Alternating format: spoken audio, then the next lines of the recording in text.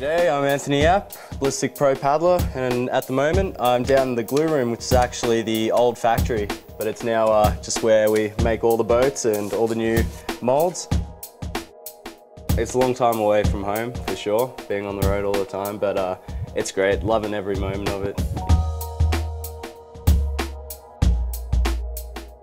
Yeah, the next next few years, really, I hope to just tour around as much as possible to as many different countries as I can with YGP and Tribe and film as many different films as possible and just let people see what we're doing.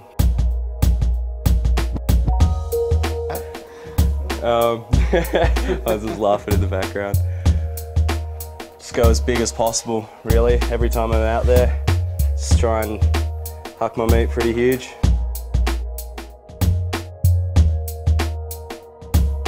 No, at the moment it's all about just going out there and having fun and yeah, boating with friends really.